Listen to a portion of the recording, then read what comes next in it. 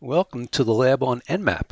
We are here at the Nmap webpage, nmap.org, and you can see that you can download Nmap for free right from here. So that's uh, the idea of these labs is to allow you to be able to do them along with us or, or do them afterwards. So being that this is free, that kind of meets that goal. And if you look here, it says Nmap is a free and open source utility for network discovery and security auditing. Uh, basically what it is, it's a scanning tool. Now specifically, we are going to be use it as a, using it as a port scanner so we can see on our servers what ports are opened to assure that we don't have unnecessary ports opened on our servers. Now, Nmap can do quite a bit more than this, and uh, I do recommend that you take a look at at it and play around with it. But for our for the lab, that's all we're going to be doing. So I have already downloaded it and it's installed on my computer. It's a very, very quick process. Uh, here you can see I have a little bit of a cheat sheet up here. Uh, so Nmap is very, very, the syntax of this couldn't be simpler. It's, it's just like Nmap and the IP address of the server that you want to that you want to scan. So here you can see that these all have the uh, 192.168, so those are private IP addresses. So that's what it'll generally look like if you're scanning, if you're on your own network, scanning your own uh, server on your network. Now you see that there's a couple of other options here. You have minus SS and you have minus ST. And if you're interested in using those, then go ahead and you can read through this just a bit. But for the demonstration, this will be sufficient uh, to use. So let's go ahead and get to that demonstration. I'll go ahead and close this out. And Nmap, you just run it from the command prompt.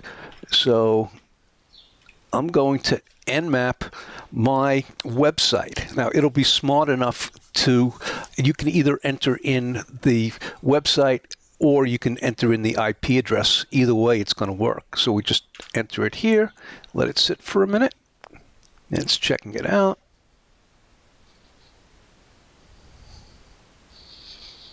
Now it has to go through every, it goes through every single port. There it is, it's finished. So what, what do we see here? There are only four ports open. Port 21, FTP, port 22, SSH, port 80, HTTP, and port 443, HTTPS. That's pretty much what you would expect to see, uh, the, the open ports that you would expect to see on a web server. Now, I don't own this web server. It's my website, but it's it's hosted. So uh, my hosting company has set up the security on this, and so I can see that they're doing a pretty good job for me. Now, what we can also do, we could do nmap 8.8.8.8. Now, that is Google's DNS server that a lot of people use this. I don't know if it's considered public or not, but a lot of people use it as a DNS server. So out of curiosity, let's see what ports are opened on Google's DNS server.